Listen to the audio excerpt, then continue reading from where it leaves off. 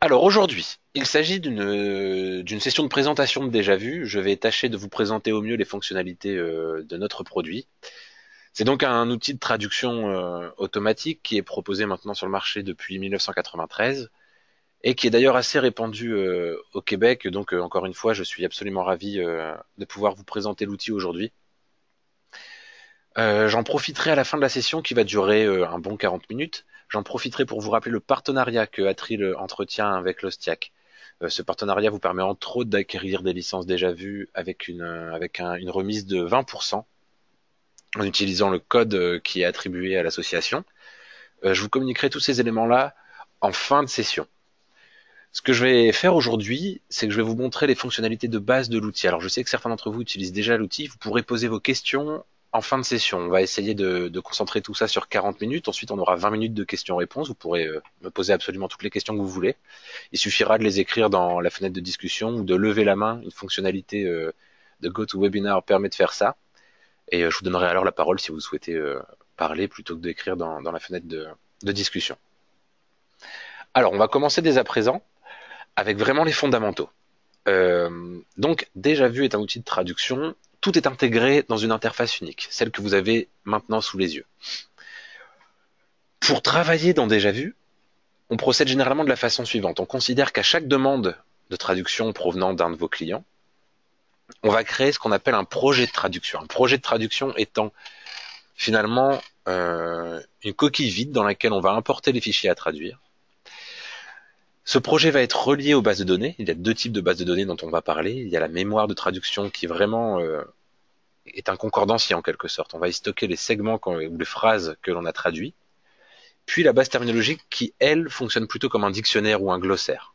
D'accord? Dans laquelle on va vraiment saisir la, terminologie euh, pointue, qui est donc constituée d'un terme ou de quelques mots. Euh, vous pouvez, bien sûr, si vous avez depuis euh, des années accumulé de la terminologie dans un fichier Excel, par exemple, convertir tout ça dans déjà vu. Je vais vous présenter la façon dont je travaille qui alors n'engage que moi. Voici mon dossier de, pour, pour cette démo. Vous voyez que j'ai un dossier TM et TB, donc pour Translation Memory and Term Base, donc mémoire de traduction et base terminologique. Je vais stocker toutes mes mémoires de traduction et bases terminologiques dans ce dossier. Ça me permettra de les retrouver plus facilement, y compris depuis l'outil. Vous voyez en rouge, on a ce qu'on appelle une mémoire de traduction. En bleu, le cylindre bleu ici vient désigner une base terminologique ou un dictionnaire. Bien. Ici, je vais stocker mes projets de traduction dans ce dossier. Et pour chaque projet de traduction, je vais travailler généralement avec euh, une hiérarchie de fichiers, une structure de fichiers similaire à celle-ci. Tout d'abord ici, je vais stocker les fichiers sources, c'est-à-dire ceux qu'on m'a envoyés pour traduction. Alors, l'excellente nouvelle, c'est que dans Déjà Vu, on peut importer vraiment tout type de fichiers. Ça va du PDF à tous les documents naturellement de la suite Microsoft Office, ça va aussi jusqu'au fichier InDesign, d'accord Et puis on peut aussi traduire euh, des fichiers XML, des fichiers HTML, toutes sortes de fichiers. Vraiment, il y a très peu de formats que vous ne pourrez pas importer dans Déjà Vu. Vous pouvez aussi travailler avec ceux de vos clients qui décident d'utiliser un autre outil de traduction. S'ils utilisent Trados ou MemoQ, vous pourrez sans problème importer les fichiers qu'ils vous envoient, les traduire dans Déjà Vu, puis les réexporter dans leur format initial avant de les renvoyer à votre client pour qu'il les réintègre dans leur outil. C'est important de le préciser. Donc c'est ici que j'enregistre mes fichiers sources. Ici, dans le sous-dossier projet, je vais stocker effectivement mon projet de traduction que je vais donc créer dans Déjà Vu pour chaque demande de traduction. C'est ici que je vais venir l'enregistrer. Ici, le dossier est vide, ce ne sera bientôt plus le cas. Alors ici, dans ce sous-dossier euh, qui va contenir les sous-projets ou les packages, on appelle ça comme on veut, eh bien voilà, si je collabore sur un projet donné avec un collègue, ou si je fais appel à un relecteur, par exemple, je vais pouvoir exporter mon projet ou, le partager avec ce collaborateur. Je vais pouvoir lui envoyer un, sous-projet au format déjà vu qui contiendrait par exemple la moitié euh, de la charge de travail, ou alors lui envoyer simplement un fichier ou un bout de fichier. Je viendrai alors stocker ce package, comme on a, tendance à l'appeler, dans ce dossier subproject. Puis, une fois ce travail euh, fait par mon collaborateur ou ma collaboratrice, je placerai le fichier reçu ici. Ça me permettrait de réimporter, de mettre à jour mon projet de traduction avec le fichier relu ou euh, la traduction effectuée. Autant vous dire que si vous faites aussi de la gestion de projet, vous pouvez tout à fait utiliser Déjà Vu, qui est un outil très performant à cet égard également. Et donc vous pourrez comme ça échanger avec d'autres traducteurs, y compris avec qui utilisent d'autres outils de traduction. C'est pas un problème. Enfin, une fois l'assurance qualité effectuée, une fois les vérifications faites, je vais venir exporter les fichiers traduits dans ce dossier pour la livraison finale. Déjà vu fonctionne de la façon suivante. Vous importez un fichier à traduire, par exemple un document Word. Vous le traduisez dans Déjà vu et lorsque vous le réexporterez, le fichier sera, vos traductions viendront écraser le contenu du fichier source. La mise en page sera préservée. Il n'y aura plus qu'à régler deux trois choses éventuellement et encore. Donc voilà, c'est comme ça que je travaille et c'est comme ça que je vais procéder au cours de cette euh, session. Je vais commencer dès à présent, on va traduire quelques fichiers dans Déjà Vu, et je vais vous présenter un petit peu les fonctionnalités principales de l'outil. Voici donc Déjà Vu. C'est l'interface qui vous est proposée lorsque vous ouvrez le logiciel. Alors, pour créer un nouveau projet de traduction, je vais cliquer sur ce bouton, Nouveau projet. Vous verrez que l'outil est très intuitif, il n'y a pas trop de boutons, il n'y a pas trop de commandes, bien que, l'outil soit très poussé. Et si vous débutez avec l'outil, vous verrez que vous avez des rappels à l'ordre un peu en permanence, ce qui vous permet de vous y retrouver. Là, par exemple, on voit créer un nouveau projet. Cela vous permet d'importer, et de stocker les fichiers à traduire, d'exploiter les mémoires de traduction, les bases terminologiques, et de proposer des fonctionnalités de traduction et de révision. Donc je clique sur ce bouton, et je vais pouvoir commencer mon travail dans Déjà Vu. Alors, pour ce faire, je vais cliquer sur Parcourir tout d'abord pour enregistrer mon projet et lui donner un nom. Alors, comme je vous l'ai montré plus tôt, je vais aller dans ce dossier, projet de traduction, projet. Je vais donner un nom à ce projet, je vais l'appeler Ostiac. Je clique sur Enregistrer, puis je clique sur Suivant. Bien, il est maintenant temps d'indiquer ici en haut de la liste la langue source de ce projet. Dans mon cas, ce sera de l'anglais. Je vais traduire depuis l'anglais, généralement du Royaume-Uni, vers le français. Hop, il y a plusieurs variétés de chaque variété régionale de chaque langue est disponible dans Déjà Vu. Toutes les langues supportées par Windows sont prises en compte dans Déjà Vu sans avoir besoin d'acheter un, un supplément pour pouvoir travailler avec plus de deux langues, par exemple. Donc, puisque aujourd'hui j'ai l'honneur d'avoir affaire à vous. Je vais choisir le français du Canada. Une fois choisi dans la liste, je clique sur Ajouter. Naturellement, il y a énormément de langues disponibles dans Déjà Vu. Quand vous utiliserez Déjà Vu une ou deux fois, il viendra ensuite vous proposer les langues principalement utilisées en haut de la liste, ce qui sera beaucoup plus simple. Vous n'aurez pas à vous déplacer dans, dans cette liste qui est très très longue. Bien, donc la langue source apparaît là-haut, la langue cible apparaît ici. Je peux cliquer sur Suivant. Par défaut, ici, l'onglet mémoire de traduction est vide. Il est temps d'indiquer une mémoire de traduction avec laquelle à partir de laquelle je souhaite récupérer du contenu et que je souhaite également mettre à jour avec mes traductions. L'idée étant de ne plus jamais avoir à traduire deux fois la même chose. Bien. Je vais donc cliquer sur ajout de TM local. Pourquoi? Parce que cette mémoire de traduction se trouve sur mon ordinateur. Je clique donc sur ce bouton. Je vais retourner dans le dossier que je vous ai montré plus tôt, dans l'onglet TM et TB, où je vais stocker toutes mes bases de données. Pour cette euh, présentation, je vais utiliser cette mémoire de traduction. J'appuie donc sur Ouvrir. Vous voyez ici qu'il y a quelques options qui sont sélectionnées par défaut. Lecture, écriture inversée. Je vais vous en parler euh, rapidement. Le mode lecture signifie que Déjà Vu va lire, va consulter les données présentes dans la mémoire de traduction que je viens de rattacher au projet. Vous allez pouvoir en profiter et baser vos traductions sur ce que contient cette mémoire de traduction. Le mode écriture, quant à lui, le mode écriture, quant à lui, va me permettre de mettre à jour la mémoire de traduction avec le travail que je suis en train de fournir. Enfin, le mode inversé. Cela signifie que si hier j'ai traduit du français vers l'anglais, ce qui dans mon cas serait pas une excellente idée, mais passons, eh bien, aujourd'hui, moi qui traduis de l'anglais vers le français, je vais pouvoir tirer parti des traductions que j'ai faites hier. Cette fonction est activée par défaut, vous n'avez rien à faire comme dans d'autres outils, c'est automatique.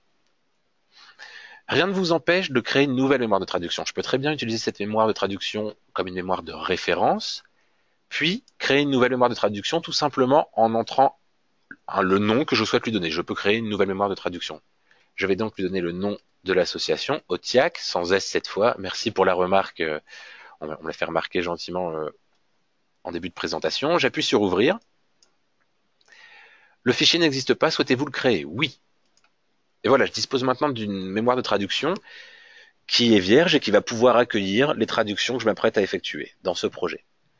Donc, dans le cas où cette mémoire me servirait de référence uniquement et que je ne souhaite pas la mettre à jour, je peux très bien désactiver le mode écriture et choisir de ne mettre à jour que cette mémoire-là. Bien, c'est un détail. Hein. Cliquons sur suivant et indiquons maintenant là où les bases terminologiques que nous souhaitons utiliser pour la traduction de ce projet. Alors je clique sur ajout de TB local. Je vais sur l'onglet DVX3 à nouveau, dans le dossier où je stocke mes bases de données, et je vais choisir cette base terminologique. Les mêmes options sont disponibles et naturellement, de la même façon, je peux créer une nouvelle base terminologique à tout moment.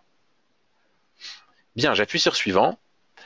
Déjà vu me propose, si je le souhaite, ajouter un moteur de traduction automatique à ce projet. Donc je peux choisir parmi l'un de ces prestataires. Je ne vais pas, je ne vais pas parler de traduction automatique aujourd'hui. Je pense que le temps nous manquerait. Il s'agit, il s'agit juste, pardon, d'une initiation à déjà vu. Mais sachez que voilà, il est possible d'ajouter un moteur de traduction automatique à déjà vu qui viendra vous appuyer en complément de vos bases de données. Sachez que la traduction automatique n'aura jamais la priorité sur vos bases de données. C'est toujours le traducteur qui a le dernier mot et surtout, ce sont vos données qui ont la priorité sur euh, celles proposées par ces divers prestataires. J'appuie sur suivant. Il est maintenant temps de sélectionner pour ce projet le nom du client ainsi que le domaine de spécialité euh, pour ce projet. Alors rien d'obligatoire là-dedans. Ceci dit, ceux d'entre vous qui disposez d'énormes mémoires de traduction savent qu'il peut être intéressant de soit créer une mémoire par client ou par domaine de spécialisation, soit avoir effectivement une mémoire unique, mais dans ce cas, il vaudrait mieux quand même nomenclaturer un petit peu tout ça. J'entends par là que si je traduis pour l'OTIAC, il est plutôt bon d'indiquer cet aspect-là. Alors comment faire? J'ai cliqué sur Ajouter supprimer. Il y a une fonction code ici et une fonction nom. Vous pouvez entrer exactement la même chose dans les deux champs. L'idée étant que lorsque vous traduirez dans Déjà Vu, vous verrez cette information dans la fenêtre contextuelle, euh, celle du code, et non pas le nom complet. Donc n'hésitez pas à ajouter un code qui soit lisible et compréhensible. J'ai cliqué sur Ajouter, j'appuie sur OK. Je peux maintenant indiquer à déjà vu que toutes les traductions que je m'apprête à effectuer dans ce projet sont pour le client OTIAC. Et donc, cet attribut euh, accompagnera les traductions, y compris dans le futur. Ce qui veut dire que si j'obtiens une correspondance de ma mémoire de traduction de ma base terminologique dans un projet futur, je saurai dans quel contexte elle a été envoyée en mémoire. Même chose avec le domaine. Vous pouvez indiquer, euh, choisir dans cette liste le domaine qui convient à ce qu'on s'apprête euh, à faire comme traduction. Ceci dit, cette liste est tellement longue, la nomenclature est tellement importante que je vous incite à cliquer sur Ajouter, Supprimer, puis à créer votre propre nomenclature. Je pourrais par exemple créer l'attribut démo. Je peux maintenant le sélectionner dans la liste. Et donc voilà, encore une fois, toutes les traductions que j'enverrai en base de données seront accompagnées de ces attributs. Et ça me permettra plus tard de, profiter de plus de contexte, de savoir d'où proviennent les traductions. Bien, je clique sur suivant. Et maintenant, il est temps d'aller chercher les fichiers sources, autrement dit les fichiers que je dois traduire. Je vais donc cliquer sur Ajouter, le bouton qui se trouve ici. Et je vais tout simplement aller dans mon dossier Fichiers sources. Et ici, venir choisir le ou les fichiers que je souhaite traduire pour cette demande de traduction. Je vais importer ce fichier Word. Je vais importer ce PDF. Et je vais cliquer sur Ouvrir. Je clique sur Suivant. Et j'attends maintenant que Déjà Vu procède à l'import de ces fichiers. Bien, le projet a été créé, je clique sur Fermer. Vous avez sous vos yeux l'interface de Déjà Vu, donc, lorsque nous travaillons dans un projet. Alors, on va commencer par le commencement. Le ruban, ici là-haut. Toutes les fonctionnalités de Déjà Vu, ou presque, sont disponibles dans ce ruban, qui est ensuite divisé en plusieurs onglets. Alors l'avantage, que c'est que les options sont groupées de manière cohérente, de façon à ce que vous puissiez les, y accéder facilement. Ici, nous avons tout ce qui a trait au presse-papier puis au formatage du texte. Ici, toutes les options liées à la traduction en tant que telle. Ici, tout ce qui est lié à la navigation qui vous permet d'aller d'un segment à l'autre, d'un certain type de segment à l'autre, notamment dans les projets volumineux. Et voilà. Nous avons ensuite l'onglet Projet, dans lesquels nous allons effectivement pouvoir euh, trouver plusieurs options comme l'analyse, la pré-traduction, l'envoi en mémoire de traduction du projet en entier une fois que tout est relu, ce genre de choses. Nous allons aussi parler aujourd'hui de l'onglet Révision, nous allons trouver les modules d'assurance qualité qui nous permettront de procéder à des vérifications de notre traduction. Naturellement, tout ceci est personnalisable. L'onglet euh, ici là-haut, euh, le ruban, voulais-je dire, pardon, est entièrement personnalisable, tout comme le reste de l'interface que je vais vous présenter maintenant. Donc ici, au milieu de l'écran, on voit la grille de traduction. C'est-à-dire à gauche, la source à traduire. Vous voyez qu'elle est segmentée, c'est-à-dire que déjà vu, à couper le texte phrase par phrase. La plupart du temps, la segmentation est en effet commandée par la ponctuation du fichier source. Naturellement, je vais venir traduire ici dans la colonne de droite. En haut à droite, nous voyons l'explorateur de projet, qui quant à lui nous montre d'une part le nom du projet, les fichiers contenus dans ce projet, le nombre de mots, ainsi que la progression de ma traduction. Ici, en bas de l'interface, nous voyons la fenêtre de prévisualisation. C'est donc un coup d'œil sur le document que nous sommes en train de traduire. L'avantage étant que contrairement à d'autres outils, cette fenêtre de prévisualisation euh, est mise à jour en temps réel.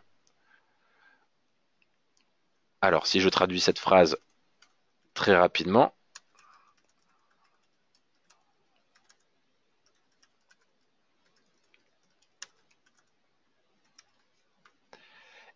quand je passe dans le segment suivant, vous voyez qu'actuellement, immédiatement, la, fenêtre est mise à jour. C'est donc vraiment très intéressant en termes de contexte, en termes de formatage. C'est vraiment un plus. Ici, en bas à droite, nous voyons ce qu'on appelle la fenêtre d'auto-search. Autrement dit, toutes les correspondances qui vont provenir des bases de données rattachées au projet, qu'il s'agisse de mémoire de traduction ou de bases terminologiques. Je m'en vais vous montrer ça tout de suite en ouvrant ce document, le document Word que nous avons à traduire. Pour l'ouvrir, rien de plus simple, je double-clique dessus. Actuellement, je vois que le projet en entier est ouvert, à savoir les deux documents les uns après les autres. Je peux naturellement ouvrir un des deux documents et me consacrer à celui-ci. Vous voyez que pour ce document, pour ce premier segment, j'ai un résultat en mémoire de traduction, et donc il apparaît dans cette fenêtre d'auto-search dont je vous parlais plus tôt. On voit que le code couleur ici est rouge, cela signifie donc que cette correspondance provient de la mémoire de traduction. D'accord Je vais tâcher de trouver un segment contenant euh, une entrée de la base terminologique. Vous voyez que ici, l'entrée de la base terminologique, software, traduit par logiciel, est indiqué en bleu. Le code couleur ici est bleu. Bien, voici pour l'interface. Naturellement, si cette, euh, cette, interface, si cet agencement ne vous convient pas particulièrement, rien ne vous empêche de la personnaliser entièrement. Premièrement, vous pouvez diminuer la taille du ruban ici. En haut à droite, il y a une petite flèche, un petit bouton, et quand on clique dessus, le ruban disparaît. Je peux naturellement le faire apparaître simplement en cliquant sur une des étiquettes euh, de ce dernier.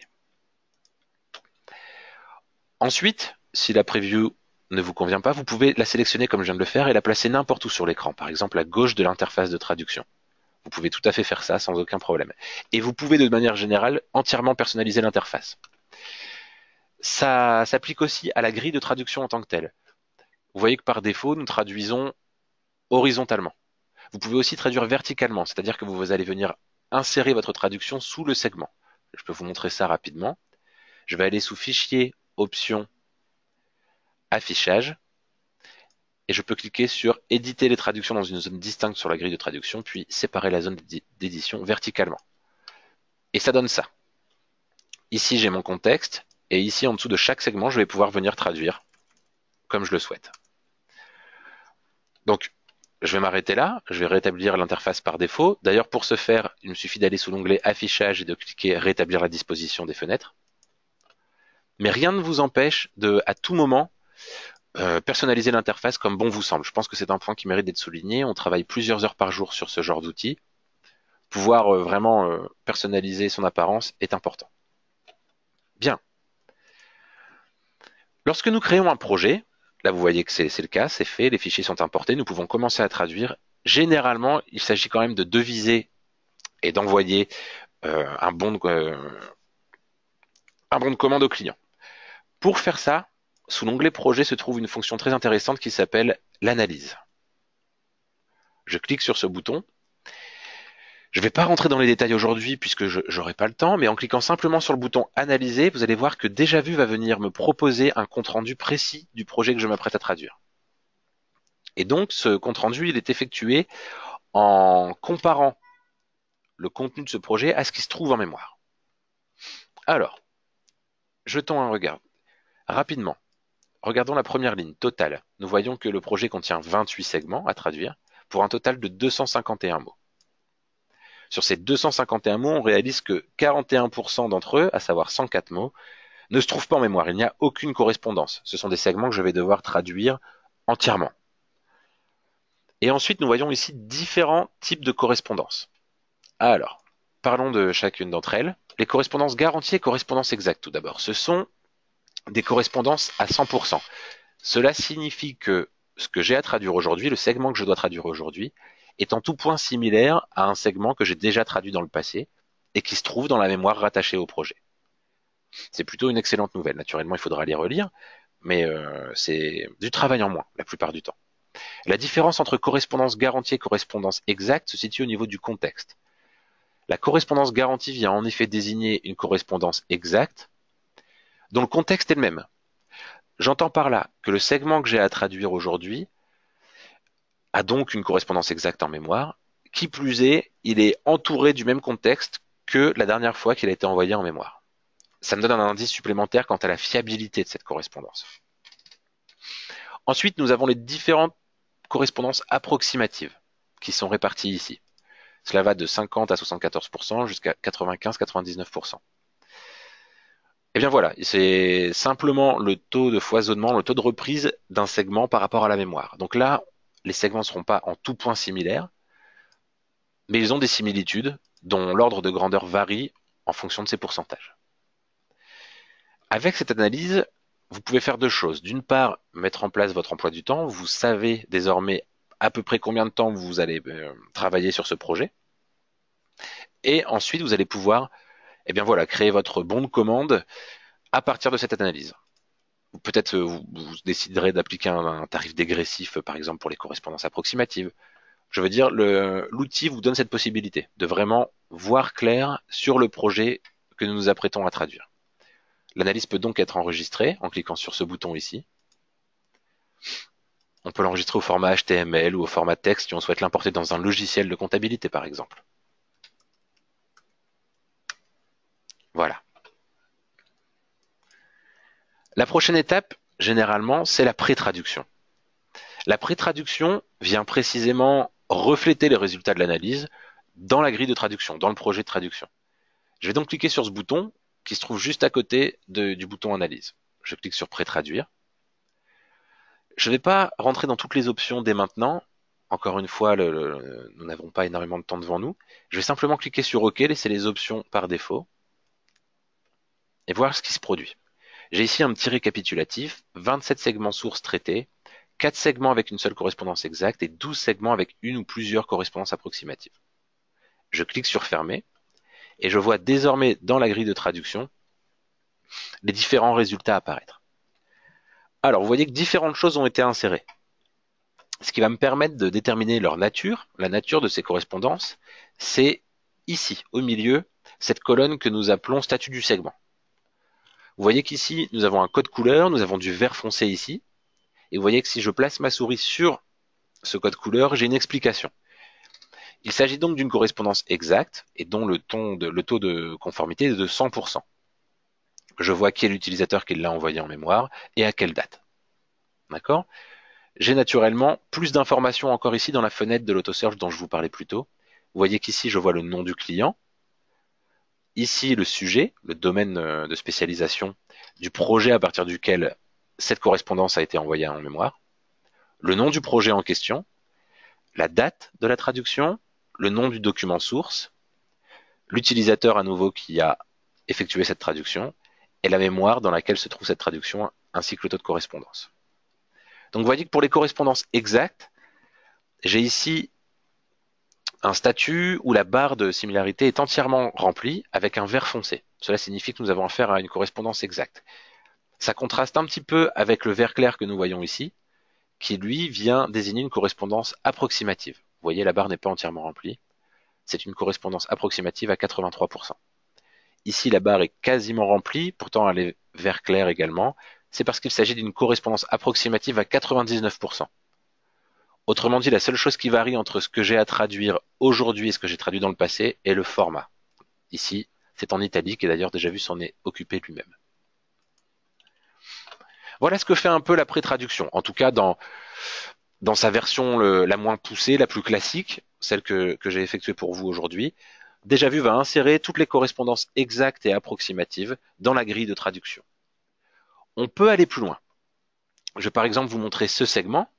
Vous voyez qu'il n'y a pas de correspondance approximative insérée. Déjà vu estime que par défaut, sous 75% de conformité, il ne va pas insérer la correspondance dans la grille de traduction. Si je relance une pré-traduction et que cette fois je clique sur Assembler à partir de portions, je clique sur cette option, et que je relance la pré-traduction, déjà vu va quand même venir m'insérer des éléments dans la grille de traduction. Vous voyez avec un statut de couleur complètement différent, ici du bleu. Cela signifie effectivement que le segment contient des portions qui ont été insérées. Si vous regardez dans l'auto-search ici, vous verrez qu'effectivement, cette partie du segment, Flexible Floating License System en anglais, a déjà été traduite dans le passé par système flexible de licence flottante. Ce n'est pas suffisamment conforme à l'ensemble de la phrase que j'ai à traduire pour qu'on puisse parler de correspondance approximative. Néanmoins, c'est pertinent pour la traduction de cette phrase. Par conséquent, déjà vu l'a inséré. Et nous appelons ça l'assemblage. Déjà vu va en effet essayer de trouver autant de portions intéressantes, pertinentes pour la traduction d'un segment donné, et les insérer dans la grille de traduction. Vous voyez qu'il l'a également fait ici dans ce segment, qui a le même euh, code couleur, à savoir le bleu foncé. Bien que ce segment source n'ait pas de correspondance exacte ou approximative dans la mémoire de traduction, à nouveau on trouve une correspondance. Nous avons traduit dans le passé Your Team Server Package contains a pool of licenses. Et donc cette traduction de cette petite partie de la phrase a été insérée en grille de traduction avec ce code couleur. Alors, je vais vous montrer autre chose que déjà vu peuvent faire au niveau de la pré-traduction, et ça peut être effectivement très intéressant. Jetons un coup d'œil à ce segment. Il s'agit d'une correspondance approximative. Vous voyez ici, si vous regardez dans l'auto-search, que vous pouvez redimensionner à loisir, vous voyez ici que déjà vu vous montre, vous signifie la différence entre ce que nous avons à traduire aujourd'hui et ce que nous avons traduit dans le passé, qui se trouve en mémoire. Et il s'agit d'un terme. Aujourd'hui, nous avons peu ou prou le même segment à traduire, à ceci près que système a été remplacé par software. D'accord Nous devons donc adapter la traduction. Je peux le faire manuellement en sélectionnant ici système, puis en tapant logiciel ou programme, selon, selon ce qu'on souhaite euh, comme traduction. Ou je peux procéder autrement. Lors de la pré-traduction, je peux demander à déjà vu de réparer les correspondances approximatives. Alors ça ne marche pas à tous les coups, mais déjà vu va dans la mesure du possible, grâce à une technologie qui n'existe d'ailleurs que dans déjà vu, essayer de déterminer quelle est la nouvelle traduction. Il va donc sélectionner la correspondance approximative, identifier la différence comme il vous le montre ici, D'accord? En bleu, il y a ce qui est nouveau, puis en rouge est barré ce qui, ce qui doit disparaître, ce qui doit être adapté. Et donc déjà vu va essayer de faire ce travail pour nous. J'appuie sur OK. Et regardez ce qui se passe. J'ai un nouveau statut ici qui apparaît. Vous voyez, c'est toujours une correspondance approximative avec un vert clair, mais on voit des petits outils qui viennent nous signifier que déjà vu a essayé de réparer cette correspondance approximative. Et pour le coup, il a plutôt bien fait son travail. Alors regardons ce qui se passe dans ce segment de plus près. Donc, comme nous l'avons dit précédemment, software pardon, vient remplacer système. Or, si nous regardons ce qui se passe dans l'auto-search, nous voyons que précisément software est traduit par logiciel dans ma base terminologique. Déjà vu a donc remplacé système dans la cible par logiciel qui se trouve en base terminologique. il est venu nous le signifier grâce à ce statut, et si je place ma souris dessus, le message suivant apparaît, réparé avec base terminologique. Donc, vous lisez tous le français, vous pouvez constater qu'il s'agit effectivement d'une traduction très correcte que je peux valider euh, si je le souhaite. Je peux rajouter l'espace insécable avant le point d'exclamation, puis confirmer le segment. Alors, confirmer le segment, qu'est-ce que ça veut dire? En faisant ça, je vais dire à déjà vu que ce segment est traduit. Le segment va donc être marqué comme traduit. C'est la première chose. Ensuite, le pourcentage de progression qui est visible ici dans l'explorateur de projet va être mis à jour parce qu'un nouveau segment a été traduit. Ensuite, ce segment source et sa traduction en cible vont être envoyés en mémoire de traduction pour être stockés euh, indéfiniment. Et enfin, dans le même temps, déjà vu va vérifier la qualité de la traduction grâce à son module d'assurance qualité. Il va s'assurer que les chiffres sont bons et il va s'assurer que la terminologie, telle qu'on la voit ici dans la base terminologique, a été respectée lors de ma traduction. Si ça n'était pas le cas, j'obtiendrai alors un message d'erreur que je peux ignorer naturellement, mais dont je peux aussi me servir pour vraiment euh, proposer une traduction qui soit en cohérence avec euh, la terminologie que j'ai élaborée. Alors, comment valider un segment? On appuie sur CTRL et la flèche du bas. C'est le seul raccourci que je vous conseille de retenir à l'issue de cette euh, première formation. On appuie sur CTRL flèche du bas et voilà ce qui se produit. Le segment est marqué comme traduit avec cette encoche et déjà vu, c'est placé dans le segment suivant. Je voudrais vous montrer quelque chose. Je vide le segment suivant, et puis je vais retourner dans le segment que je viens de traduire et le confirmer à nouveau. En plus de ce dont je vous ai parlé précédemment, à savoir confirmation de la traduction, envoi en mémoire et exécution de l'assurance qualité, lorsque je confirme un segment, déjà vu va, si possible, nous proposer une traduction pour le segment qui suit. Ici, il y avait une correspondance approximative, elle a donc été insérée dans la grille de traduction. D'accord? Donc ça, le module de pré-traduction, avec pourquoi pas la réparation des correspondances approximatives, qui est quand même une technologie très intéressante, notamment si vous avez beaucoup de terminologie dans vos glossaires. Elle sera encore plus efficace. Bien que, comme nous pouvons le voir ici, dans ce segment-là, pardonnez-moi, même sans entrer dans la base terminologique, déjà vu, parvient à réparer des segments. Ici, vous voyez que nous devons traduire It's never been so easy to manage licenses, both for your users and for you. Dans le passé, nous avons traduit à peu de choses près, à très peu de choses près, la même phrase, à ceci près que easy euh, n'était pas dans la, dans la source. À la place, nous avions simple. Nous avions donc traduit gérer les licences n'a jamais été aussi simple pour vous comme pour vos utilisateurs. Mais aujourd'hui, il faut remplacer simple par la traduction de easy. Et regardez ici ce qui se passe dans la cible. Facile a été inséré automatiquement. Pourquoi? Parce que même sans base terminologique, déjà vu va aller piocher dans la mémoire de traduction, comme un concordancier, et essayer d'établir quelle est la traduction de ce mot, en l'occurrence easy. J'en profite pour vous montrer une fonctionnalité très intéressante de déjà vu. Si je sélectionne un mot, que je fais un clic droit et que je clique sur scanner la mémoire de traduction, déjà vu va nous montrer toutes les entrées correspondantes dans la mémoire de traduction. Autrement dit, j'ai ici sous les yeux six segments dans la mémoire qui contiennent le mot easy. Or, vous voyez qu'à chaque fois dans la cible, nous trouvons le mot facile. C'est comme ça que déjà vu, grâce à un algorithme, parvient à déterminer que la traduction de easy est très probablement facile. Et c'est comme ça qu'il l'a inséré ici pour nous. Donc là aussi, rien ne m'empêche, après un rapide contrôle, de confirmer mon segment en cliquant sur contrôle, flèche du bas. Si je retourne sur ce segment, vous voyez que j'ai désormais une correspondance exacte puisque je viens de confirmer ce segment. Bien. Puisque nous sommes dans la traduction pure, je voudrais aussi vous parler d'un autre, euh, d'une autre technologie mise en place dans Déjà Vu et qui peut s'avérer vraiment, vraiment très intéressante et très pertinente pour nous qui sommes traducteurs, c'est l'écriture automatique.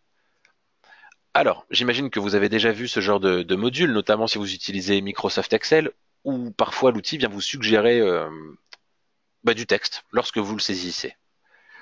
Ici, la différence, c'est qu'il ne va pas nécessairement utiliser euh, du texte que vous auriez rentré plus haut dans le projet, mais il va se baser sur ce qui se trouve en mémoire de traduction. Je m'apprête à traduire ce segment, donc qui commence par The Project Manager. Vous voyez que j'ai rien en mémoire, rien en base terminologique qui soit visible ici. Néanmoins, si je commence ma phrase et que je m'apprête donc à taper le chef de projet, regardez ici ce qui apparaît le chef de projet peut. Je vais donc aller la chercher et l'entrer en appuyant sur Entrée précisément. Le chef de projet peut utiliser son système flexible de licence flottante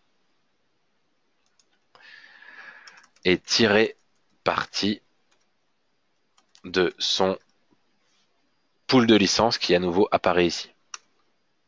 Alors, je viens de vous parler de la réparation des correspondances approximatives. Ici, le même phénomène est à l'œuvre. Déjà vu, analyse en permanence le contenu source, y compris à l'échelle des, mots et des termes, et vous, les propose, vous propose ce qu'il pense être la traduction de ces mots. Donc, à fur et à mesure que vous tapez, il va venir vous suggérer des traductions qui sont pas juste euh, bêtes et méchantes. Il y a vraiment un, un travail de recherche en arrière-plan qui peut vraiment s'avérer très très très efficace. On traduit vraiment beaucoup plus vite et plus important encore, on reste cohérent. Je veux dire par là que si dans le passé on a traduit project manager par chef de projet et non pas par gestionnaire de projet, eh bien ce module d'écriture automatique va nous aider à rester cohérent au fil du temps. Donc c'est vraiment un avantage dont, je vous invite à, à, tirer parti. Une fois cette traduction effectuée, je clique sur CTRL flèche du bas et me voilà dans le dernier segment. Ici, ce n'est pas vraiment à traduire. On pourrait se demander si cette euh, adresse web doit être localisée.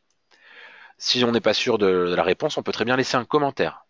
Pour laisser un commentaire, nous allons faire un clic droit dans la grille de traduction, aller sur commentaire, modifier le commentaire, et poser la question au client tout simplement. Cette URL doit-elle être localisée? Ce sera effectivement peut-être une URL différente pour les lecteurs français. J'appuie sur appliquer et vous voyez que ce point d'exclamation violet vient indiquer que j'ai laissé un commentaire. En attendant, je vais copier la source dans la cible en appuyant sur F5, qui me permet donc de copier la source dans la cible. Je vais donc rapidement terminer le contrôle de, ce fichier. Alors ici, offrez-vous à vos équipes la possibilité de donner le meilleur. Très bien, je vais supprimer le point final ici, puis confirmer le segment. Découvrez les nouvelles fonctionnalités du Team Server. Alors, Team Server, est-ce que ça doit être traduit? Est-ce que ça doit rester comme tel si c'est un nom de marque? Je ne suis pas certain. Ce que je peux faire, c'est sélectionner Team Server, faire un clic droit à nouveau pour scanner la mémoire de traduction. Et ici, je vais voir, notamment en cliquant sur Scan étendu qui va me permettre d'aller encore plus loin dans la mémoire de traduction, je vais voir comment j'ai traduit Team Server dans le passé. Il se trouve que je l'ai laissé tel quel. Je me souviens avoir effectivement maintenant euh, demandé au client s'il fallait le traduire ou non. Il m'a dit que c'était une marque déposée, que nous le conservions tel quel. Ce que je peux faire pour vraiment à l'avenir être sûr de ne pas me tromper, c'est de sélectionner le terme dans la source, sélectionner son équivalent dans la cible et cliquer sur Ajouter à la base terminologique ou simplement appuyer sur F11. Et lorsque je clique sur ce bouton, vous voyez que les attributs sont également rattachés à la base terminologique. Donc le sujet c'est démo, le client c'est OTIAC. J'ai ici le contexte dans lequel a été envoyé cette entrée terminologique. J'appuie sur Ajouter et vous voyez que maintenant cette entrée est disponible dans la base terminologique. Très bien, je vais poursuivre ma traduction, confirmer ce segment. Ici, déjà vu, a automatiquement pris en charge le formatage. Je suis bien en italique, tout va bien. Je peux confirmer le segment et passer au segment suivant.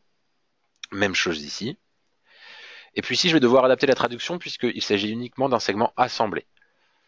Alors, je vais laisser une faute volontairement. Votre pack comprend un pool de licences que vous pouvez attribuer et contrôler très facilement en temps réel.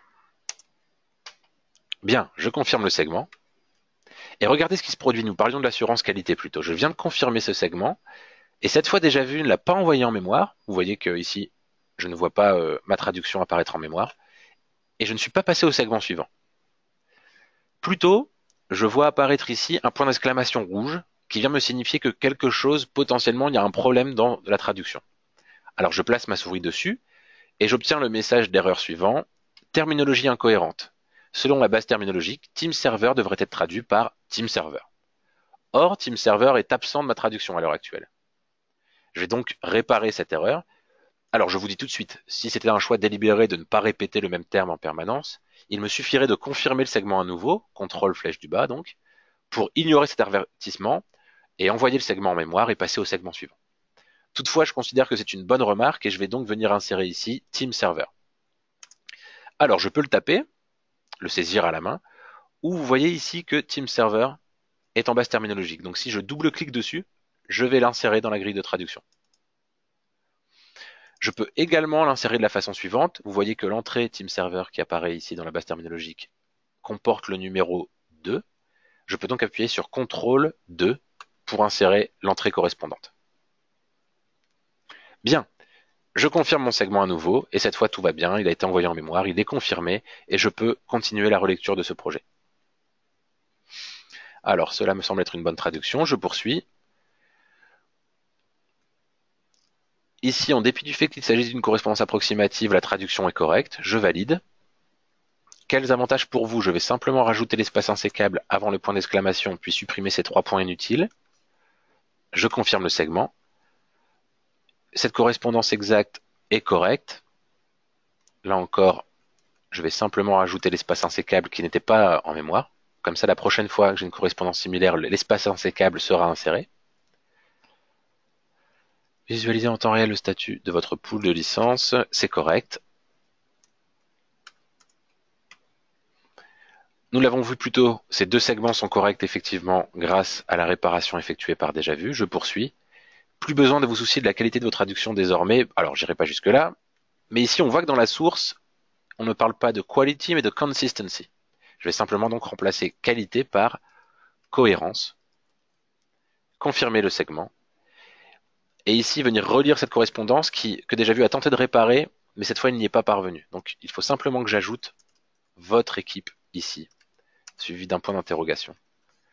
Je confirme le segment et voilà mon projet traduit. Mon projet, pardon, en tout cas ce fichier-là est traduit. Bien, je m'apprête donc, ce que je souhaite faire désormais, c'est livrer mon client. Vous avez remarqué que je n'ai rien enregistré au cours de la création de ce projet, au cours de ma traduction. Nous n'avons pas besoin d'enregistrer quoi que ce soit lorsque nous travaillons dans Déjà Vu. Tout est enregistré en temps réel. Autrement dit, si j'avais eu le malheur de connaître une coupure de courant au cours de la formation, j'aurais redémarré mon ordinateur, j'aurais retrouvé le projet exactement dans le même état, sans perte de traduction. Je vais désormais simplement faire un clic droit sur le fichier, ici dans l'explorateur de projet, et cliquer sur Exporter. En faisant ça, je vais venir indiquer l'emplacement où je souhaite exporter ce fichier, donc ma traduction, le fichier livrable que je souhaite envoyer au client. Et ici, puisque j'ai laissé un commentaire qui est adressé au client, je ne sais pas si vous vous souvenez, sur le lien euh, vers une page web dont je me demande s'il faut qu'il soit localisé, je vais cliquer sur exporter les commentaires en tant que commentaire Office. J'appuie donc sur OK. Déjà vu me signale la, chose suivante. Il manque des espaces à la fin de certains segments. Souhaitez-vous que déjà vu les, ajoute automatiquement? Eh bien, en ce cas-là, je dis oui. Ça m'évitera d'avoir deux phrases qui se suivent sans espace entre les deux. Et je vais venir ouvrir mon fichier ici dans le sous-dossier que déjà vu a créé et qui porte le nom de la langue cible. FR pour français, CA pour Canada. Le document Word se trouve ici. Je l'ouvre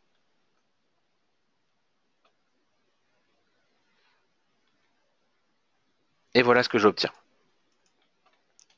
La mise en page est absolument respectée, les différentes couleurs, les différents formats, tout est conservé.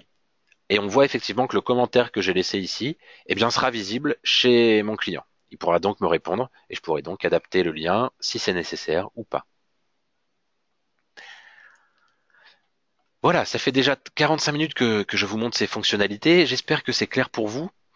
Euh, il nous reste donc un petit peu de temps et j'aimerais profiter de ce temps pour que vraiment vous me posiez toutes les questions qui puissent vous passer par la tête. N'hésitez absolument pas. Euh, nous avons un bon quart d'heure, mais j'hésiterai absolument pas à rester avec vous un peu plus longtemps euh, s'il le faut. Ce sera avec plaisir.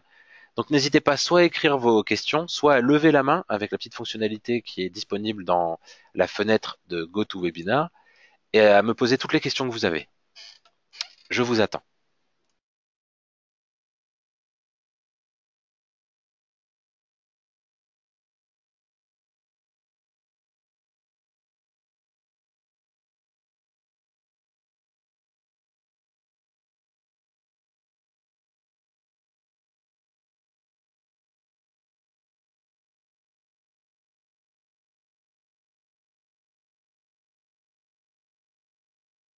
Première question par Stéphanie. Merci beaucoup Stéphanie. Très bonne question d'ailleurs. Qui me demande s'il est possible de d'automatiser toutes ces fonctions de création de projet. Euh, vous vous rappelez, pour ceux d'entre vous qui étaient là au tout début de session, nous avons ce projet de traduction que nous voyons désormais devant nous. Nous l'avons créé euh, point par point, étape après étape. Effectivement, il y a plusieurs étapes. Il faut donner un nom au projet, sélectionner les mémoires de traduction, puis les options, les paramétrages, etc. Naturellement, tout ceci peut être euh, sauvegardé, automatisé. Et pour ce faire, nous allons aller, nous allons pardon, sous l'onglet Projet du ruban et cliquer sur Enregistrer ce projet en tant que modèle. C'est ce bouton ici que vous voyez. Je clique dessus. J'appuie sur Enregistrer ici. Je donne un nom au modèle de projet. Donc je corrige ma coquille. Et donc c'est de l'anglais UK vers le français du Canada. J'appuie sur OK. Et vous voyez que tout le paramétrage du projet a été sauvegardé. Alors c'est bien gentil tout ça, mais je vais plutôt vous montrer en quoi ça consiste précisément. Imaginons que, je, que voilà, ma journée est finie, j'ai terminé ma traduction, elle a été envoyée au client. Et ce client est content de mon travail, j'espère, et il me renvoie donc d'autres demandes de traduction le lendemain ou la semaine suivante. Plutôt que de recréer un projet en tout point similaire du début, je vais aller sous Fichier, Nouveau, Projet. Et cette fois, je vais cliquer sur Projet basé sur modèle. La liste des modèles que j'ai créés apparaît dans cette fenêtre. C'est celui-ci qui m'intéresse. OTIAC, UK, Canada. Je clique donc sur suivant une fois qu'il est sélectionné. Je vais simplement indiquer l'endroit où je souhaite l'enregistrer.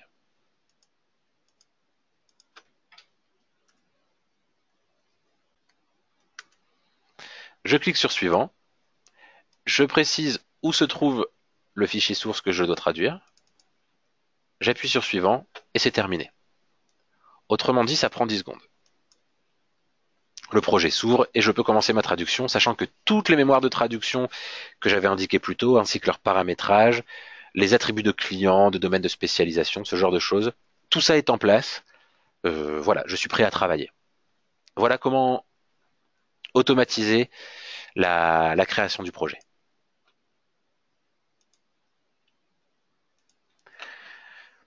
Alors, Hélène nous demande quelques précisions sur la fonction lexique. Alors, c'est une très bonne question et le lexique est à mes yeux un outil vraiment vraiment intéressant. Je n'en ai pas parlé puisque c'est pas nécessairement une base de l'outil, mais je me trompe peut-être sur ce sujet d'ailleurs. Je devrais peut-être en parler quasiment systématiquement. Alors, revenons au projet précédent, que je vais donc trouver sous fichier récent en allant sous l'onglet fichier du menu. C'est celui-ci. Donc ce projet que je suis en train de traduire, il est, comme nous l'avons évoqué plus tôt, rattaché à des mémoires de traduction et des bases terminologiques. Bien. Pour le coup, la base terminologique que j'utilise est d'ordre plutôt général. Euh, elle concerne le marketing en général et elle n'est peut-être pas tout à fait adaptée aux prérequis, aux exigences du client pour lequel j'effectue ma traduction actuellement. Alors, je vais vous expliquer ça plus clairement. Prenons l'exemple de ce segment. On voit que dans ma base terminologique, software est traduit par logiciel. Or, il se trouve que ce client a des, des, des précisions, a vraiment des exigences particulières, enfin pas particulières d'ailleurs, mais software doit être traduit par programme. C'est une exigence de sa part. Bien. Dans ce cas-là, je peux ajouter naturellement software par, traduit par programme je peux ajouter ça dans la base terminologique. Simplement, voilà, j'ai désormais les deux entrées dans la base terminologique et rien ne me permet vraiment de savoir laquelle est prioritaire, surtout sur un projet très très long avec énormément de terminologie. J'ai besoin, de prioriser un petit peu les ressources. Le lexique est là pour ça. Le lexique est un glossaire lui aussi, qui peut contenir donc de la terminologie ou des bouts de phrases, des segments qui va avoir la priorité sur toutes les bases de données rattachées au projet. Le lexique a la priorité sur vos mémoires de traduction et vos bases terminologiques. Autrement dit, on va ajouter dans le lexique les souhaits du client. C'est un, cas pratique. Si le client vous communique une liste terminologique ou vous avez validé avec ce client euh, un ensemble de termes, je vous incite à les importer dans le lexique. Alors, pour créer un lexique, nous allons sous l'onglet lexique du projet et nous cliquons sur le bouton Créer un lexique. Je clique sur OK. Je ne vais pas rentrer dans ces options aujourd'hui, nous n'aurons pas le temps hélas, mais ça permet d'extraire de la terminologie. Et vous voyez que le lexique apparaît ici dans le projet en tant que tel, au-dessus des fichiers sources. Ça signifie bien que le lexique est une ressource propre à un projet et qu'elle a la priorité, eh, c'est vers le lexique que l'on doit se tourner en priorité et avant la mémoire de traduction ou la base terminologique. Je vais double-cliquer dessus pour ouvrir, voir ce qu'il y a dedans, puisque moi, personnellement, à ce stade, je n'ai rien mis dedans. Voilà ce que j'ai sous les yeux. Tout un ensemble de mots, plus ou moins intéressants, qui sont en fait extraits du projet de traduction sur lequel je travaille actuellement. Donc en plus de la possibilité d'importer ou d'ajouter une terminologie que je souhaite utiliser pour ce projet, je vais pouvoir aussi utiliser cette extraction pour travailler sur la terminologie en amont. Bon, autant vous dire que ce genre de segment, c'est pas très intéressant. Déjà vu à procéder à une, euh, extraction statistique en nous proposant ici les termes, les groupes de mots qui reviennent le plus souvent. To manage, par exemple, ça peut être intéressant de, décider à ce stade, au, stade vraiment avant la traduction, de la façon dont je vais le traduire, de façon à rester cohérent dans ma traduction tout au long du projet. Donc je peux parcourir le lexique rapidement et travailler un petit peu sur la terminologie, y compris à ce stade. Par exemple, nous avons ici License Pool. Le client a été très clair, ou alors j'ai enquêté, j'ai consulté différents portails terminologiques, et il se trouve que dans le domaine dans lequel je traduis actuellement, eh bien, on parle de pool de licence. Et juste en ayant rempli ce segment-là, si désormais je retourne sur mon projet et que je vais dans un segment où se trouve pool de licence, alors license pool, où est-ce que je vais le trouver?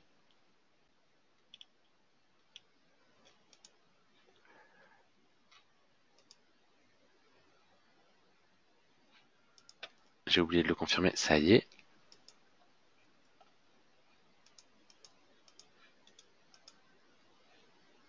Voilà. Vous voyez qu'il apparaît ici. License pool se trouve dans la source et il apparaît donc ici dans le lexique. Vous voyez avec un code couleur différent ici, blanc. Et donc vraiment, si je le traduis différemment, je vais avoir un avertissement terminologique. Vous voyez, license pool apparaît désormais en rouge et je dois le traduire par pool de licence. Et il va avoir la priorité sur la, base terminologique comme je l'ai dit. Autrement dit, si je vais dans ce segment, que j'ajoute software et programme, donc pour ajouter un mot dans le lexique ou un groupe de mots, je vais sur l'onglet accueil et je clique sur ajouter au lexique. Vous voyez que maintenant il apparaît. Si par mégarde j'ai inséré logiciel et que je valide le segment, en dépit du fait que le logiciel se trouve dans ma base terminologique, je vais obtenir un avertissement parce que, voilà, encore une fois, selon le lexique, software devrait être traduit par programme. Donc voilà ce que je peux vous dire sur le lexique rapidement, sachant que si vous travaillez une extraction terminologique dans ce lexique, si vous entrez de la terminologie euh, importante pour un client ou pour un projet donné, vous pourrez exporter ce lexique en cliquant sur ce bouton au format texte ou Excel et le réutiliser à tout moment dans un autre projet. Nous avons également parlé des, modèles de projet il y a quelques minutes. Sachez que lorsque vous enregistrez un modèle de projet qui contient un lexique, ce lexique sera sauvegardé dans ce modèle de projet. Autrement dit, il sera disponible directement la prochaine fois que vous créerez un projet basé sur ce modèle. Voilà, j'espère avoir répondu à votre question sur le, lexique. Je vais regarder s'il y a d'autres questions qui ont été posées entre-temps.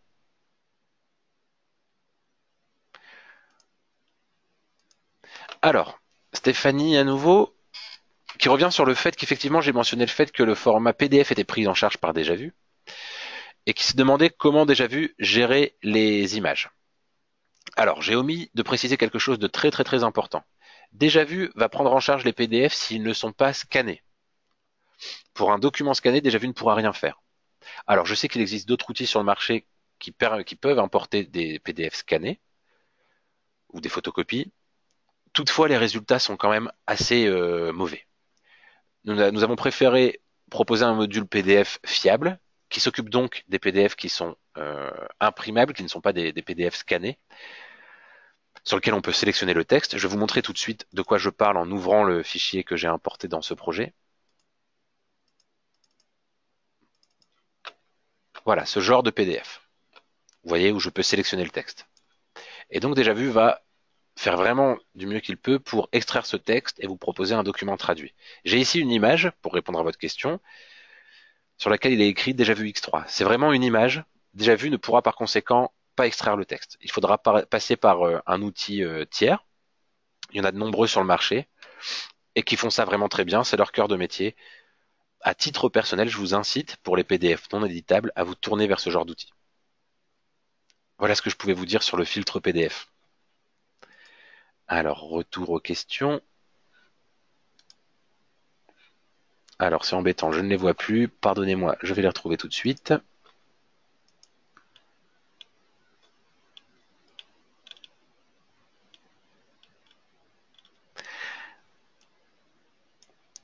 Alors, Anne-Marie Messa, bonjour chère Anne-Marie, nous demande d'évoquer les options de pourcentage de la mémoire de traduction et de parler du DeepMiner.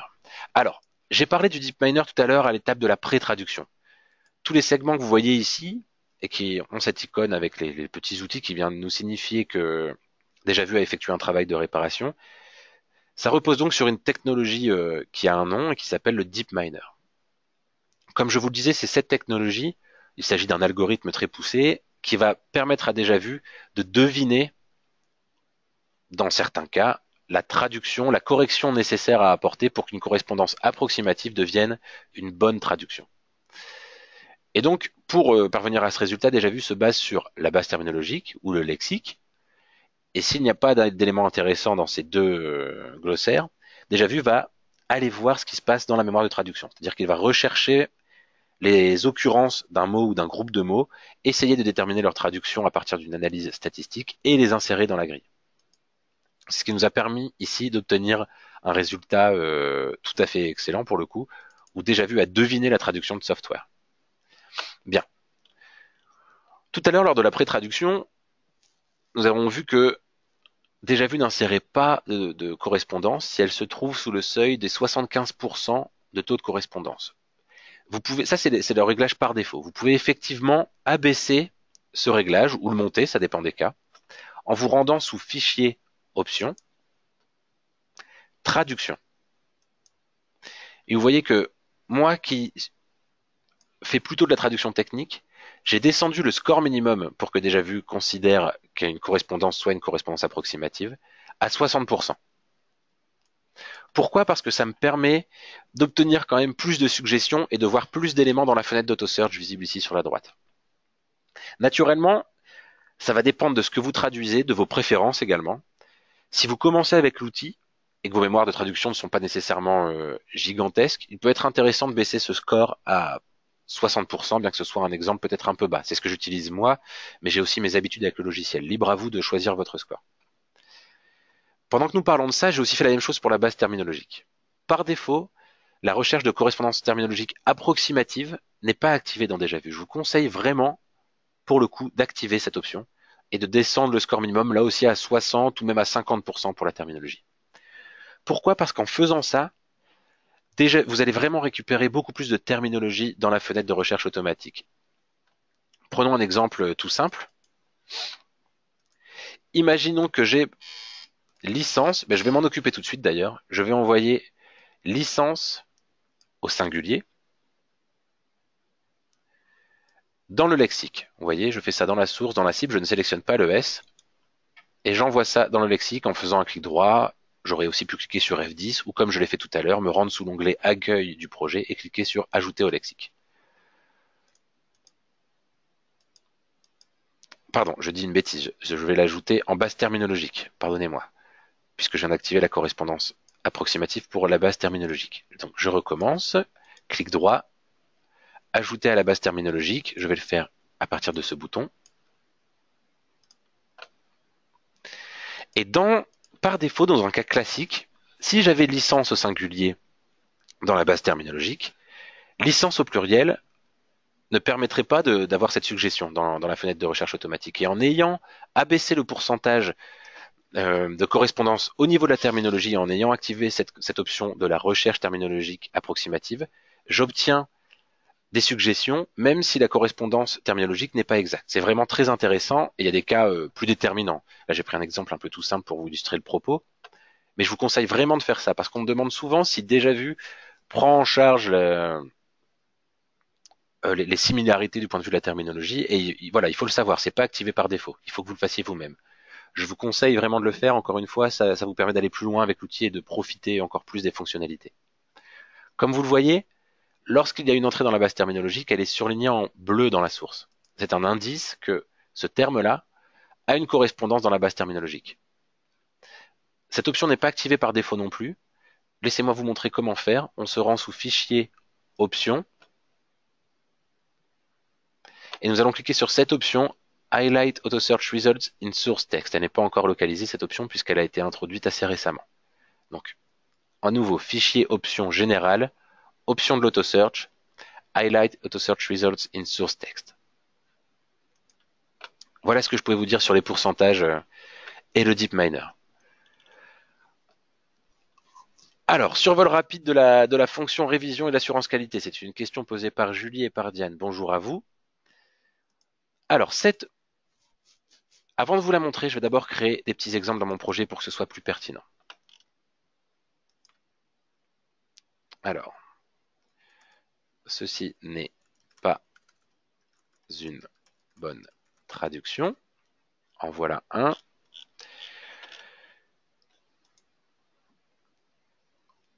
Alors,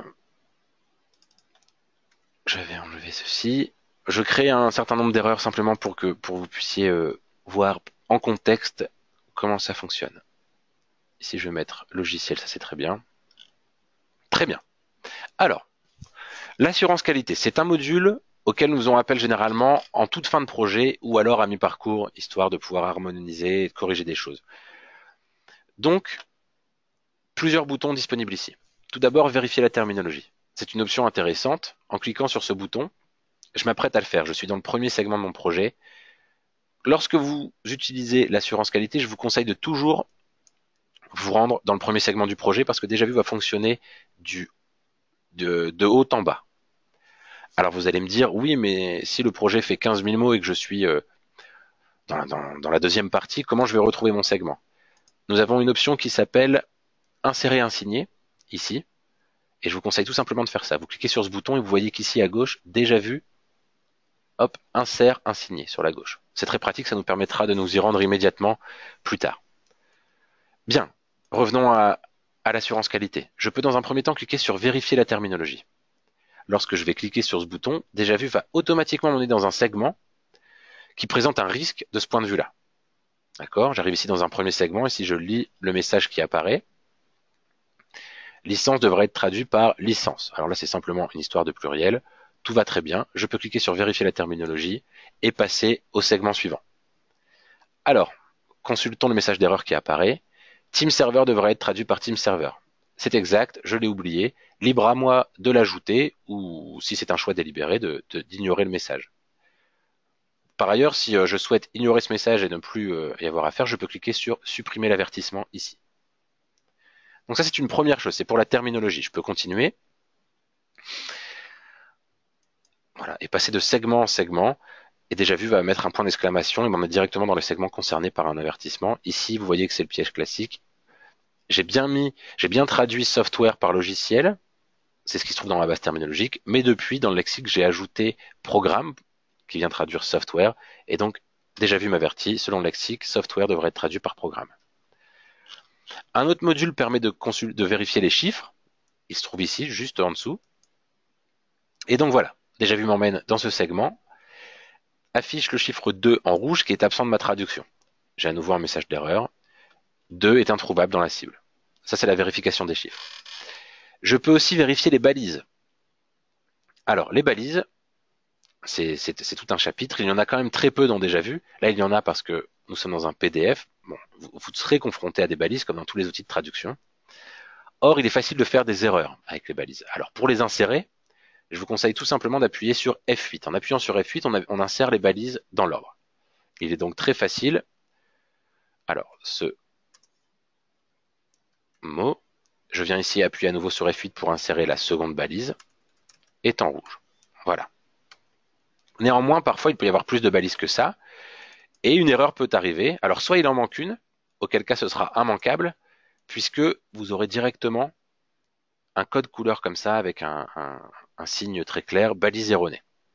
Par ailleurs, vous pourrez filtrer grâce au sélecteur de segments sur les différents segments en fonction de leur statut, y compris les segments comportant des balises erronées, et venir les réparer. Ou alors, et là c'est plus problématique, on pourrait commettre une erreur de ce genre. Toutes les balises sont insérées, je n'ai donc pas d'avertissement, mais elles ne sont pas insérées dans le bon ordre. Et c'est pas évident à identifier, tandis qu'on traduit. Le bouton ici vérifier les balises va nous, à l'image du bouton vérifier la terminologie, va nous emmener directement dans le segment concerné. Hop. Et vous verrez un message apparaître ici en bas à gauche de l'interface. J'ignore si vous le voyez. Les balises de la cible ne sont peut-être pas placées correctement. Donc effectivement, c'est le cas. Si les balises ne sont pas correctement placées, je vous incite à cliquer sur ce bouton Réparer les balises et déjà vu va alors les placer dans l'ordre automatiquement. Je m'apprête à le faire pour vous, vous allez voir que l'ordre des balises va changer et va devenir le bon. Voilà qui est fait. Une autre option ici s'appelle Vérifier les espaces. En cliquant dessus, déjà vu nous, emmènera dans les segments pour lesquels il nous manque des, des espaces en fin de phrase, c'est-à-dire le nombre d'espaces terminant la source n'est pas présent dans la cible. D'accord? Ça évite d'avoir effectivement deux phrases collées dans le document exporté. Comme vous l'avez vu tout à l'heure lorsque j'ai exporté le document traduit, Déjà Vu propose de s'en occuper automatiquement avant l'export. Donc vous pouvez de toute façon compter sur ça. Les options dont je viens de vous parler ici, vous pouvez également procéder autrement pour les identifier en cliquant sur Assurance qualité par lot. Et en faisant ça, je m'apprête donc à lancer l'assurance qualité. Déjà vu va cumuler tous ces types d'avertissements, ce dont je viens de parler un par un, et donc nous les signifier avec ces points d'exclamation rouge. Peut-être que c'est plus facile comme ça, c'est une question de choix. Certaines personnes préfèrent vérifier d'abord la terminologie au cas par cas, d'autres ensuite les balises ou les chiffres, ou alors d'autres traducteurs vont préférer demander à déjà vu d'identifier tous ces problèmes en amont, puis ensuite de filtrer sur les segments avec des assurances, avec des avertissements d'assurance qualité. Il y en a deux types, ceux pour la terminologie, ceux pour les assurances, pardon, pour les avertissements euh, d'assurance qualité en général. D'accord? Ici, il n'y en a pas, c'est uniquement de la terminologie. Voilà ce que je pouvais vous dire sur l'assurance qualité très rapidement. J'aimerais aussi vous dire, euh, même si j'aurais pas le temps de vous le montrer aujourd'hui, qu'on peut personnaliser ce module. Ce que j'entends par là, je vais prendre un exemple très pratique. Il m'arrive de traduire des sous-titres euh, les sous-titres, en tout cas auprès de mon client, ne doivent pas dépasser 36 caractères. D'accord?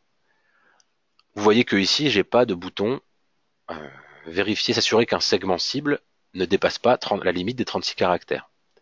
Eh bien, je peux, en allant sous Fichier, Options, SQL, insérer ici du code. Alors c'est un peu poussé, je vais plutôt vous renvoyer vers notre je vais ouvrir tout de suite l'onglet. Vers notre centre de ressources qui est disponible en ligne. Le voici. Et donc en arrivant sur ce centre de ressources, vous aurez tout un tas de documentation et d'articles explicatifs. Si vous tapez Quality Assurance, à l'heure actuelle, il n'est exclusivement en anglais il sera localisé prochainement. Vous arriverez tout droit sur cet article Custom SQL Filters for Quality Assurance. Je ne vais pas rentrer dans les détails, mais vous avez ici, donc vous voyez du code que vous pouvez tout simplement copier et coller sous fichier option SQL. Il y a de toute façon une marche à suivre euh, qui est proposée sur, cette, euh, sur, cette, sur ce centre d'aide. Tout est expliqué très clairement et très précisément. Et ça va vous permettre de personnaliser la vérification effectuée par l'assurance qualité. Par exemple, je pourrais donc demander à déjà vu de m'avertir en cas de, de segment qui deviendrait dépasser 36 caractères et qui serait donc pas conforme aux exigences de mon client. Vous voyez, je peux par exemple aussi insérer une formule qui tout simplement va venir m'avertir s'il manque le point final à une phrase pour, lequel, pour laquelle pardon, la source contenait un point final. Ce genre de choses. Tout un tas de suggestions disponibles ici. Je vous invite à le consulter et à personnaliser euh, à votre souhait le module d'assurance qualité. Voilà ce que je pouvais vous dire. Euh, voilà ce que je pouvais vous dire aujourd'hui sur l'assurance qualité. Je consulte la suite des questions. Quand sort déjà vu X4 et va-t-on pouvoir intégrer DeepL? Alors, c'est une question qu'on me pose souvent. Déjà vu X4 est, actuellement finalisé. Euh, ça sortira dans les prochains mois. Je, n'ai pas de date précise en ce qui me concerne. Il faudrait demander directement à Atril. C'est très pro, ce sera, ce sera vraiment disponible très prochainement. Il y aura vraiment énormément de nouvelles fonctionnalités qui seront proposées. L'intérêt étant aussi que pour ceux d'entre vous qui décident d'acquérir déjà vu dans les temps qui viennent, la mise à jour vers déjà vu X4 sera systématiquement gratuite. Sachant que voilà, il est important de préciser la chose suivante. Déjà vu X3 est sorti, si je ne me trompe pas, en 2014 ou en 2015. Contrairement à d'autres outils proposés sur le marché, nous ne sortons pas de nouvelles versions payantes tous les ans, allez, tous les, tous les 15 mois.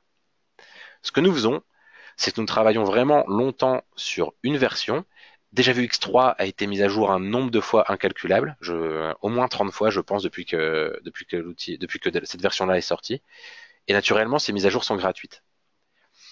Là, dans quelques mois, déjà vu X4, la nouvelle incarnation, sortira. Elle proposera vraiment des fonctionnalités euh, nouvelles et très avancées. Il y aura vraiment des choses vraiment très intéressantes, notamment en ce qui concerne le suivi des modifications et ce genre de choses.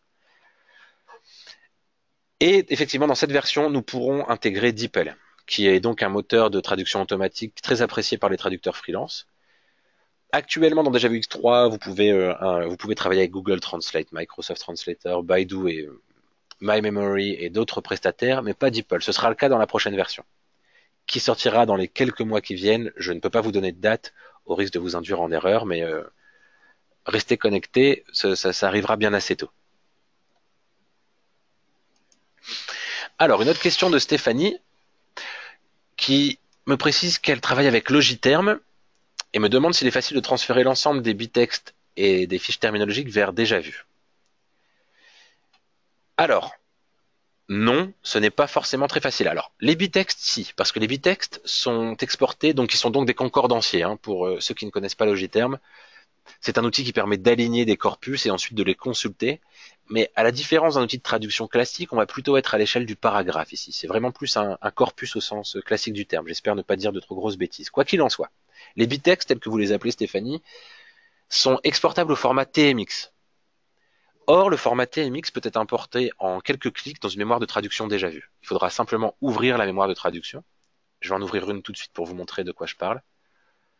Alors, je vais aller dans mon dossier où je stocke mes mémoires de traduction. Je vais ouvrir celle-là par exemple en double-cliquant dessus.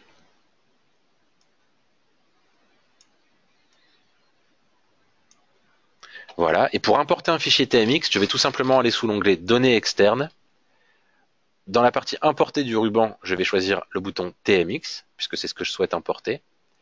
Je vais chercher le fichier TMX que je souhaite importer et qui se trouve donc par exemple ici. Je clique sur Ouvrir, suivant. Je choisis les langues que je souhaite importer. Je souhaite toutes les importer pour le coup. Et voilà, c'est vraiment très facile. Les langues apparaîtront ensuite. Alors, il y a du français. Voilà. Donc oui, pour les bitextes, c'est vraiment un jeu d'enfant. Vous pourrez les importer euh, en passant par le standard TMX. Les fiches terminologiques, je crois me souvenir qu'elles ont été, qu'elles sont au format XML. C'est donc un peu plus compliqué.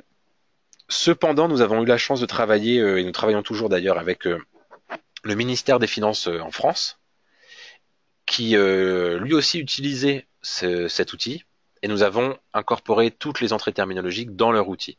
Donc n'hésitez pas à poser la question directement au service support d'Atril. Vous pouvez m'écrire aussi directement et euh, pour, vraiment discuter à ce sujet puisque c'est tout à fait faisable. Alors, vous êtes plusieurs à me poser la question de comment me contacter pour me poser des questions plus précises. Alors, la réponse est la suivante contactez directement le, support d'Atril. Alors, c'est l'adresse est un peu plus simple, c'est support@atril.com.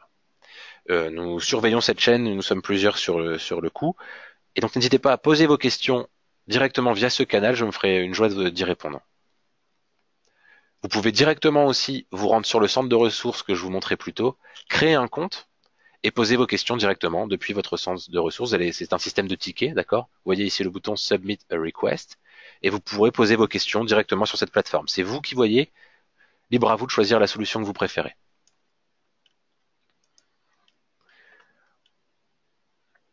Bien, je crois que c'est tout pour les questions, je n'en vois pas d'autres. Est-ce que quelqu'un a une dernière question éventuellement? Je vais m'assurer d'avoir répondu à toutes les questions posées.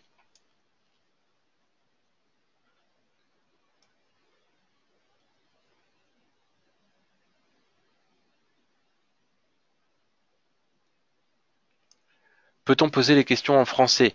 Oui, elles me seront transférées, Anne-Marie. N'hésitez pas à poser les questions en français si vous préférez. Euh, je crois pouvoir le lire et je me ferai un plaisir de vous répondre en français également. Donc n'hésitez surtout pas. Avec plaisir. Eh bien, il ne me reste plus qu'à vous saluer. Je vous souhaite à tous une excellente journée. Euh, encore une fois, j'aimerais vous rappeler simplement la chose suivante, c'est que en tant que membre de l'OTIAC, vous bénéficiez d'un tarif préférentiel. Si vous souhaitez utiliser déjà vu, n'hésitez absolument pas. Vous, disposez d'un compte, euh, d'un code personnalisé. N'hésitez pas à le demander auprès de l'association et vous pourrez donc euh, profiter de 20% de réduction. Avant même de vouloir profiter de ces 20%, ce que je vous invite à faire, c'est à vous, à vous rendre sur notre site www.atril.com à télécharger la version d'essai. C'est une version qui n'est pas limitée. Elle est disponible pendant 30 jours. Essayez-la, écrivez au support si vous avez des questions, consultez toutes les ressources qui sont disponibles sur notre plateforme en ligne. Il y a des vidéos, des tutoriels, tout un tas d'articles. N'hésitez pas à les consulter. Essayez l'outil pendant 30 jours. Et si vous êtes convaincu, et je pense que vous le serez, vous pourrez ensuite bénéficier de, de, cette promotion de 20% qui, qui vous est spécialement euh, adressée. Alors, je ne sais pas quand on me demande quand a lieu la, prochaine formation. Il n'y a pas encore de date prévue. Ce sera très probablement courant mois de mai. D'accord? N'hésitez pas à nous contacter et puis à consulter le site web qui sera mis à jour avec les prochaines dates. Eh bien, encore une fois, un grand merci à tous. Euh, je vous souhaite vraiment une excellente journée. N'hésitez pas à poser vos questions, n'hésitez pas à tester l'outil. Et voilà, c'est avec plaisir que j'aurai affaire à vous euh, une prochaine fois. Au revoir tout le monde.